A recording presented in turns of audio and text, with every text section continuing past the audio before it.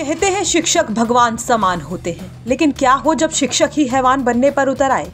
कुछ ऐसा ही हुआ यूपी के कानपुर में, जहाँ नीट परीक्षा की तैयारी कर रही एक छात्रा के साथ बलात्कार की घटना सामने आई है। और ये किसी और ने नहीं, बल्कि दो शिक्षकों ने इस वारदात को अंजाम दिया है। क्या है पूरा मामला? चलिए आपको बताते हैं। कानपुर के काकदेव कोचिंग मंडी में पीड़िता एक प्रमुख कोचिंग संस्थान में मेडिकल प्रवेश परीक्षा नीट की तैयारी कर रही थी। इसके लिए वो हॉस्टल में रह रही थी। वहीं छात्रा का आरोप है कि साल 2022 में उसके कोचिंग टीचर साहिल सिद्दीकी ने पढ़ाने के दौरान नशीला पदार्थ पिलाकर पहले तो उसको नशे का आदि बनाया। इसके बाद उसके साथ रेप की घटना को अंजाम दिया। सिर्फ़ साहिल ही नहीं, उसके एक और शिक्षक दोस्त ने इस लड़की का बलात्कार किया। छात्रा कन्नौज की रहने वाली थी और छात्रा का आरोप है कि नीट की तैयारी के लिए वो कानपुर में कोचिंग के लिए आई थी। यहाँ साहिल ने एक दिन उसे बर्थडे पार्टी के बहाने 2022 में अपने फ्लैट पर बुलाया।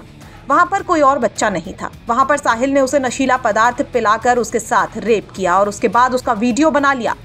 इसके बाद उसने कई बार लड़की के साथ रेप किया। साथ ही ये धमकी भी दी कि किसी को अगर कुछ कहा तो वीडियो वायरल कर देगा। इसके बाद साहिल के एक और दोस्त ने भी लड़की के साथ कई बार बलात्कार किया।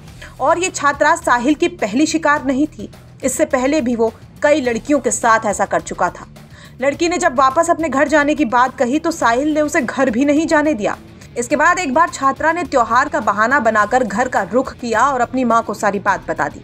हालाँकि इस पूरे वाक्य के बाद छात्रा डिप्रेशन में आ गई और उसके बाद छात्रा की तबीयत भी खराब होने लगी। इलाज के दौरान छात्रा को पता चला कि किसी और के साथ भी साहिल सिद्दीकी ने इसी तरह का कांड किया है। तो छात्रा ने ठीक होने पर हिम्मत बांधी और फिर पुलिस में आरोपी की कंप्लेंट दर्ज करवा दी। छात्रा ने अपनी रिपोर्ट में यहाँ तक कहा है कि उसने कई बार मुझे पीटा भी है। एक बार मेरा गला भी दबाने की कोशिश की थी। बता दें कि टीचर साहिल सिद्दीकी का तीन महीने पहले एक कोचिंग संस्थान में पढ़ने वाली छात्रा के साथ सीसीटीवी फुटेज में अश्लीलता करते हुए वीडियो वायरल हुआ था।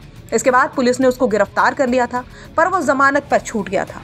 बहरहाल, इस मामले के सामने आने के बाद दोनों आरोपियों को पुलिस ने हिरासत में ले लिया है। पुलिस का इस पूरे मामले पर क्या कुछ कहना है, वो सुनिए। क्या घटना की जानकारी मिली और इसमें कितने लोग अरेस्ट हैं? क्या अभी तक पूछताछ में सामने बात आई? ये अभी कल्याणपुर थाने में कुछ समय पहले एक छात्रा के द्वारा इस बात की सूचना दी गई कि उनके साथ दो अलग अलग समय पे दो अलग व्यक्तियों के द्वारा दुष्कर्म किया गया। इस सूचना पर प्रथम सूचना रिपोर्ट थाना कल्याणपुर पर पंजीकृत किया जा चुका है और जिन पर आरोप उस छात्रा के द्वारा लगाया गया है, वह पुलिस हिरासत में है, उनसे पूछताछ की जा रही है। और इसमें जो भी विधिक कार्रवाई है वो पुलिस के द्वारा की जाएगी। सर क्या शिकायत में आया क्या काफ़ी लंबे समय से इसका शोषण हो रहा था? क्या शिकायत पत्र किस तरीके का? एक्चुअली ये जब छात्रा के साथ जब चीज़ें हो रही थी तो वो वह नाबालिग थी और इस संबंध में उनके द्वारा ये कहा गया है कि चीज़ों को गोपनीय रखी जाए इसलिए बहुत सारी सूचनाएँ साझा नहीं की जा सकती। कानपुर से रंजय सिंह की रिपोर्ट यूपी तक।